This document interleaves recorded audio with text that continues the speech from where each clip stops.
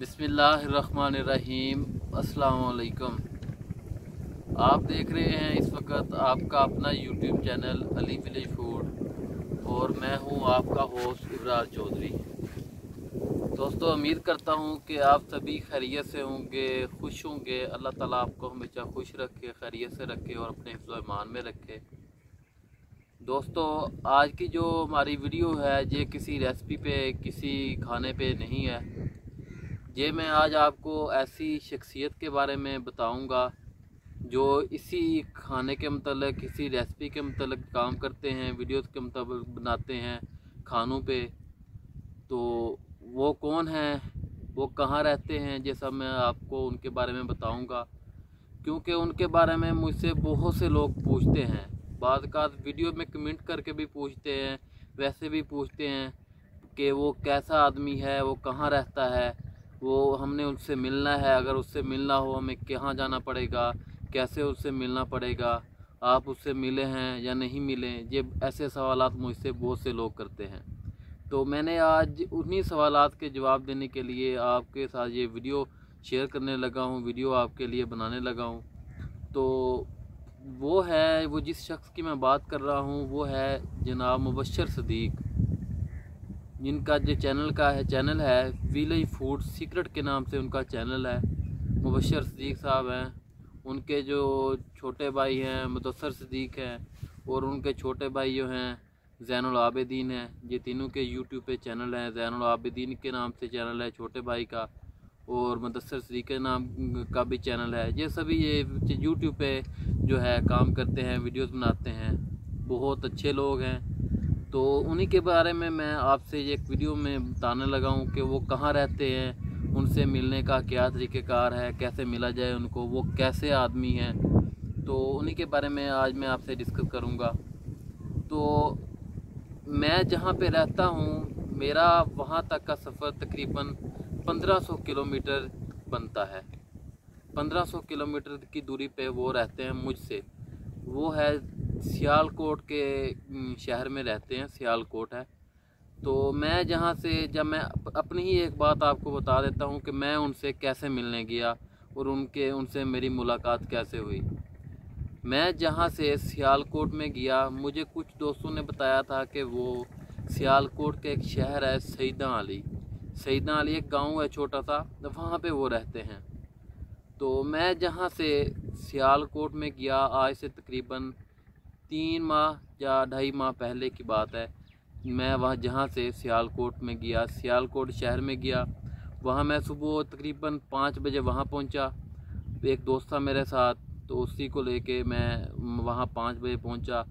तो वहाँ से मैंने उसकी तलाश शुरू कर दी। मैं जो भी बात करूँगा, आपसे सच करूँगा, बिल्कुल हकीकत होगी। इसमें कोई बात झूठ नहीं होगी। और मेरी ये कुछ भी मेरी बात झूठ हो तो साबित करो। तो मैं उसका ज़िम्मेदार हूँ मैं उसका गुनहगार हूँ मैं जो भी बताऊँगा आपको ओरिजिनल और बिल्कुल प्यारिटी के साथ सच और हकीकत बताऊँगा। तो मैं और मेरा दोस्त है एक, जिसका नाम नासिर है। हम सियालकोट में पहुँचे। पाँच बजे वहाँ पहुँचे। वहाँ से हमने उसको सईदा अली जो गाँव था, जिसके बारे में कुछ दोस्तों ने बताया था कि मुबशर सदीक ने बताया है एक वीडियो ने, वीडियो में कि वो वहाँ सईदा अली गाँव है, वहाँ मेरे रहते हैं। हम वहाँ से सियालकोट शहर से सईदा अली जो गाँव है, वो तकरीबन सत्तर किलोमीटर मेरा ख्याल से बनता है जहाँ कम थोड़ा होगा। वहाँ पे वो गाँव है, हम उस गाँव में पहुँचे, सईदा अली गाँव है। तो हम उस गाँव में गए, उस गाँव में जाके बशर सदीक साहब के बारे में पूछा। तो वहाँ पे तकरीबन हमने काफ़ी लोगों से पूछा काफ़ी उधर से लोग थे उनसे पूछा उनके बारे में किसी ने भी हमें नहीं बताया कि बशर सदीक साहब यहाँ पे कोई है जो कि यूट्यूब पे काम करते हैं उनका जहाँ यूट्यूब पे बिज़नेस है जहाँ जो भी है।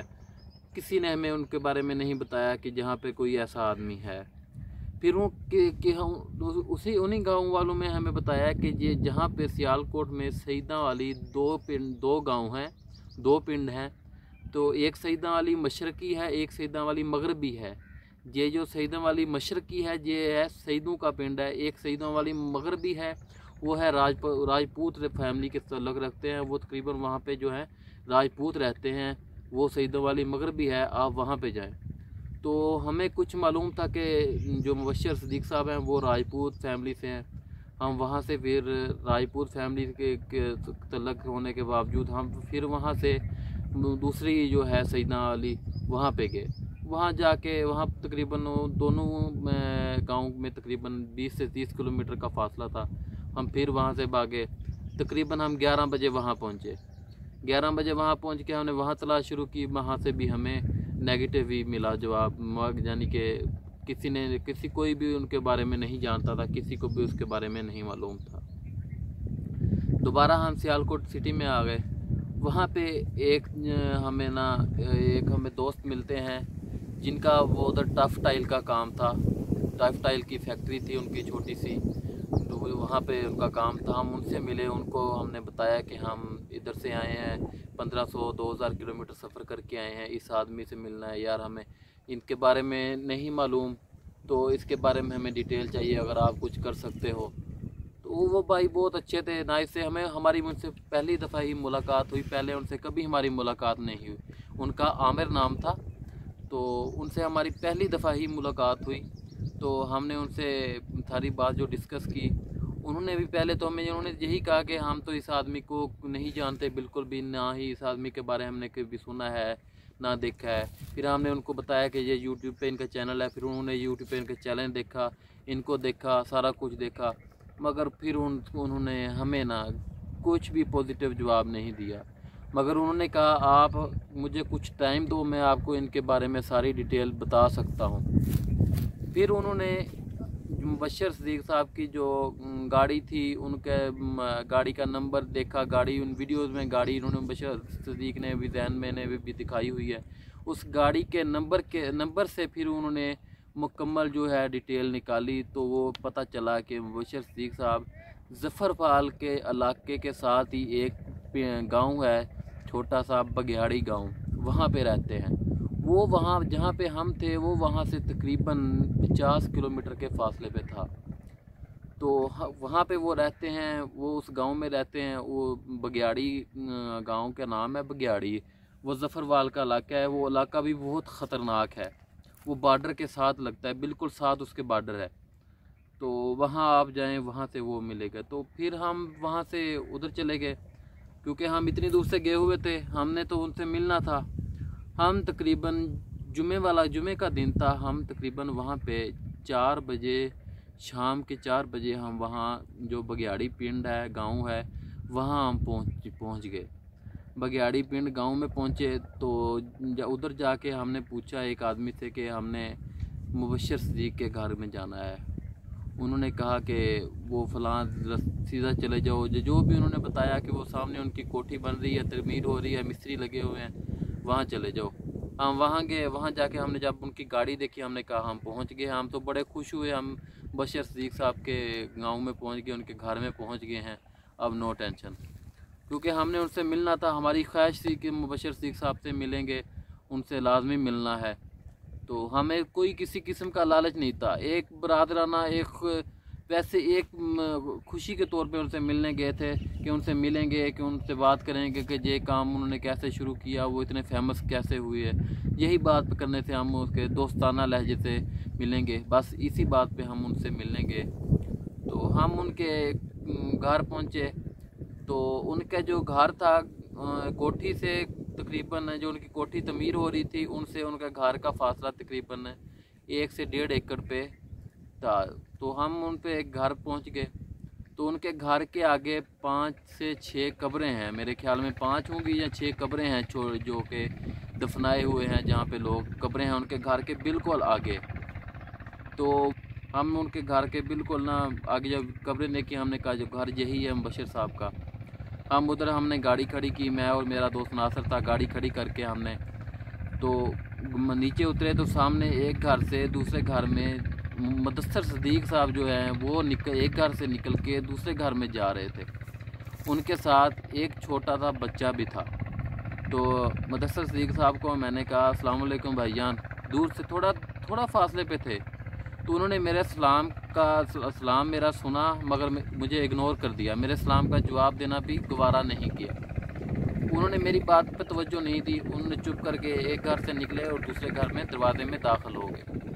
हम फिर बड़े परेशान हुए, यार, शायद मुदसर भाई ने हमारा सलाम का जवाब नहीं सुना होगा, आवाज़ नहीं सुनी।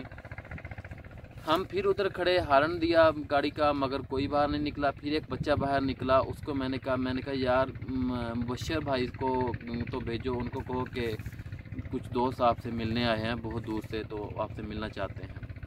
पहले तो वो बच्चा घर गया, घर जाके वापस आया, उसने कहा कि बशर भाई घर नहीं है। मैंने कहा, यार मुदसर भाई तो घर हैं। उन्होंने कहा मुदसर भाई भी घर नहीं। मैंने कहा, यार अभी घर गए हैं, हमारे सामने गए हैं घर। आप कह रहे हो घर नहीं है, जाओ यार, उनको को बहुत दूर से आए हैं, हम उनसे मिलने आए हैं बस। तो हमने दो मिनट हमें दे दें टाइम हमसे मिलना है।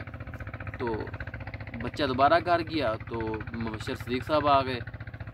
तो उन्होंने, मैंने आगे होके उनसे हक करना शुरू करने लगा। तो उन्होंने दूर से मुझे हाथ किया। तो मुझे कहा, अस्सलाम वालेकुम। मैंने कहा, वालेकुम सलाम। जी सर, कैसे आए हो? मैंने कहा, सर, आपसे मिलने आए हैं और कैसे आए हैं? तो मैं मैं कहा आपसे मिलने आए हैं। क्यों, मुझसे क्यों मिलने आए हैं? मुझसे क्या काम है ऐसा जो मुझसे मिलने आए हैं? जे मुबशर साहब के अल्फाज थे।